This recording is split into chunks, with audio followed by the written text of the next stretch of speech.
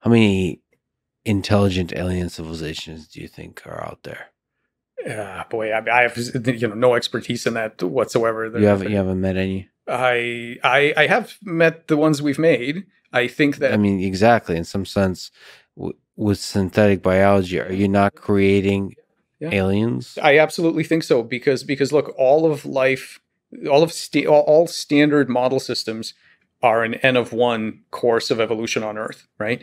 And trying to make conclusions about biology from looking at life on Earth is like testing your theory on the same data that generated it. It's all it's all kind of like locked in.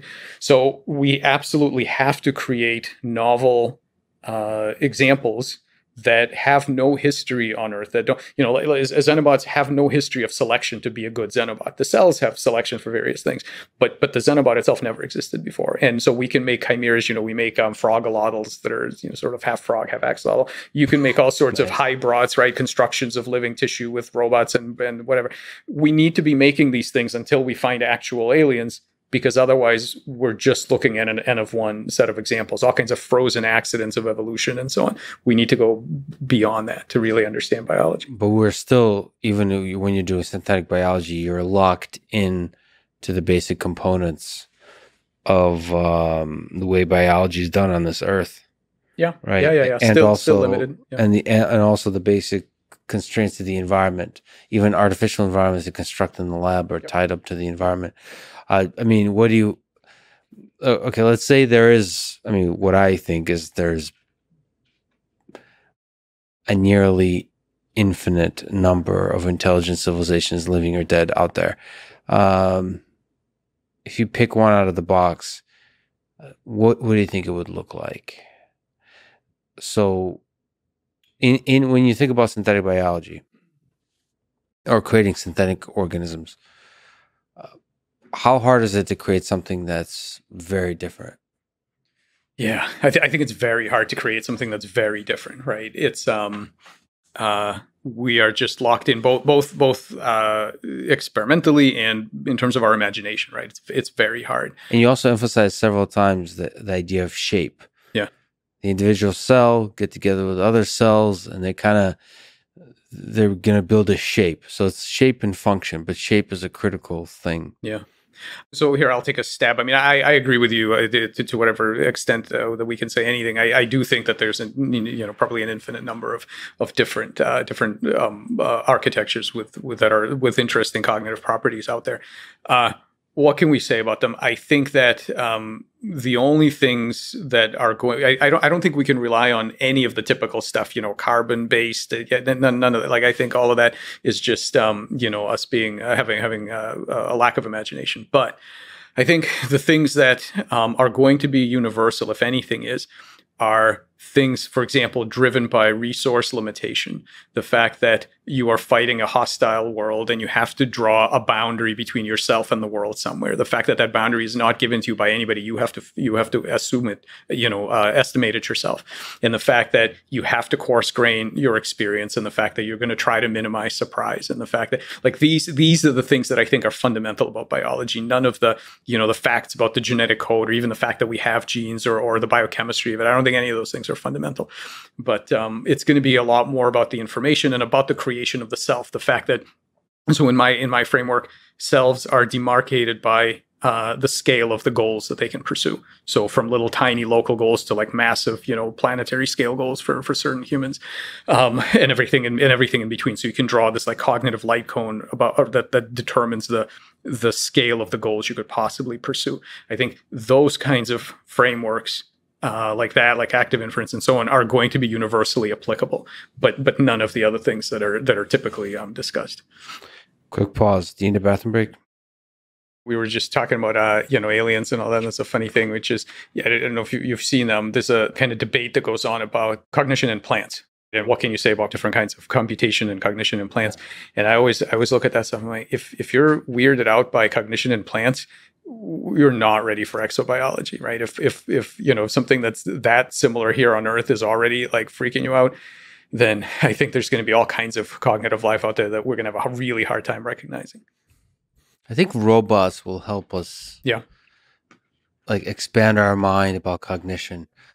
either that or uh, the word like uh, xenobots so and they maybe becomes the same thing is you know really when the human engineers the thing at least in part and then is able to achieve some kind of cognition that's different than what you're used to then you start to understand like oh you know every living organism is capable of cognition. Oh i need to kind of broaden my understanding of what cognition is. But do you think plants um like when you when you eat them are they screaming I don't know about screaming. I think you have to. that's scale- what i think when i eat a salad Yeah, good yeah. I think you have to scale down the expectations in terms of right. So, so probably they're not screaming in the way that we would be screaming. However, there's plenty of data on uh, plants being able to um, to do anticipation and certain kinds of memory and and and so on.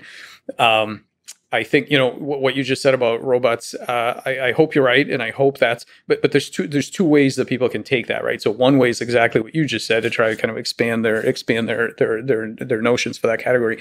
The other way people often go is uh, they just sort of define the term as if if if it's not a natural product, it's it's just faking, right? It's not really intelligence if it was made by somebody else because it's that same it's the same thing. They can see how it's done, and once you see how it's it's like a magic trick. When you see how it's done, it's not as fun anymore. And and and I think people have a real tendency for that, and they sort of which which I find really strange in the sense that if somebody said to me, we have this this this sort of blind like like uh, a hill climbing search, and then and then we have a really smart team of engineers.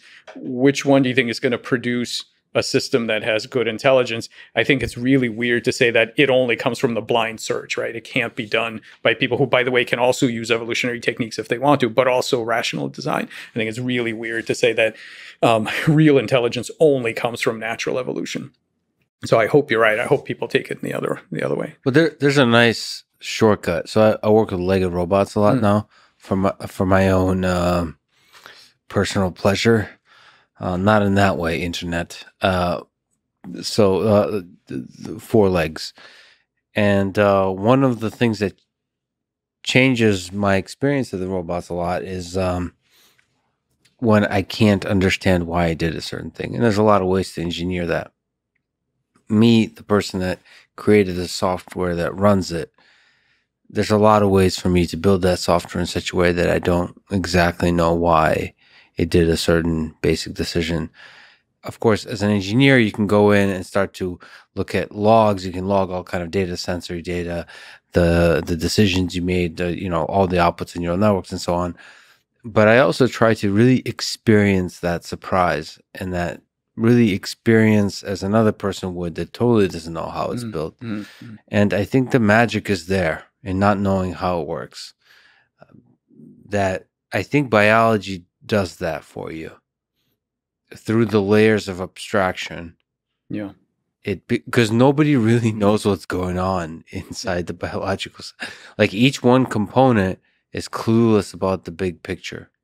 I think there's actually really cheap systems that can that can illustrate that kind of thing, which is even like um, you know, uh, fractals, right? Like you have a very small, short formula in Z, and you see it, and there's no magic. You're just going to crank through, you know, Z squared plus C, whatever. You're just going to crank through it, but the result of it is this incredibly rich, beautiful image, right? That that that just like wow, all of that was in this like ten character long string, like amazing. So the fact that you can you can know everything there is to know about the details and the process and all the parts and everything like there's literally no magic of any kind there and yet the outcome is something that you would never have expected and it's just it just you know is incredibly rich and and complex and beautiful